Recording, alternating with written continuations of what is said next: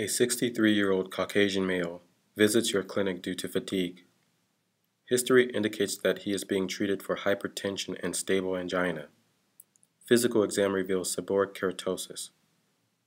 Serum labs indicate bicarbonate of 24 milliequivalents per liter, sodium of 140 milliequivalents per liter, potassium of 5.7 milliequivalents per liter, chloride of 102 milliequivalents per liter, creatinine of 1.1 milligrams per deciliter, and calcium of 9.6 milligrams per deciliter.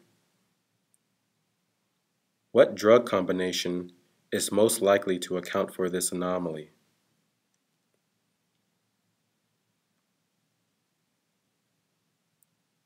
lisinopril and amiloride lisinopril and amiloride.